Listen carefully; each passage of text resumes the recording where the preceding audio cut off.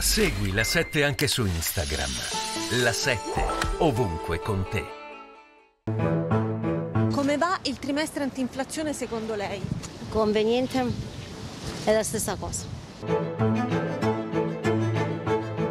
Sceglie i prodotti su cui c'è il simbolo del prezzo bloccato? Scelgo i prodotti dove c'è lo sconto. Indipendentemente dal fatto che sia quello del governo? Esatto, esatto. Compro quello che mi serve, non vado a vedere se c'è il prezzo bloccato o meno di un prodotto. Non fa attenzione all'offerta quindi? Sì, certamente, se è di qualità certamente sì.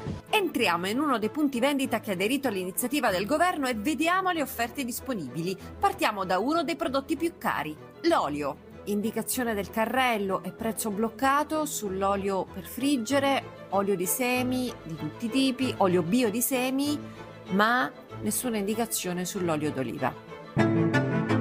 Sembrerebbero essere più convenienti le altre offerte, ad esempio quelle riservate ai soci. Questo per esempio, questo prezzo bloccato, 1,60 euro, uno sgrassatore da 750 ml, però questo sempre sgrassatore, sempre 750 ml, senza offerta costa meno, perché c'è l'offerta soci. Facciamo un'altra prova. Sostiamo per un po' nel reparto caffè, prodotto certamente molto acquistato. Vediamo quanti scelgono il prezzo bloccato che è in questa fila, quanti le offerte soci indicate qui e quanti una marca di fiducia pur senza offerta. Nessuno ha scelto i prodotti a prezzo bloccato, in due hanno scelto un prodotto in promozione e quattro hanno preferito acquistare la marca di fiducia.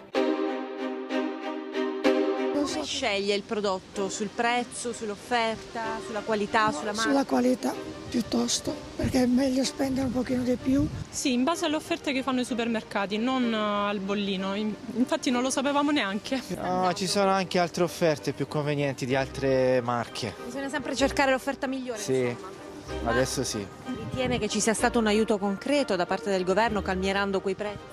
Non credo proprio. Sì, eh, sta scendendo un pochettino, ma i prezzi comunque sono alti. Ancora non ci siamo, eh, si spende sempre molto comunque.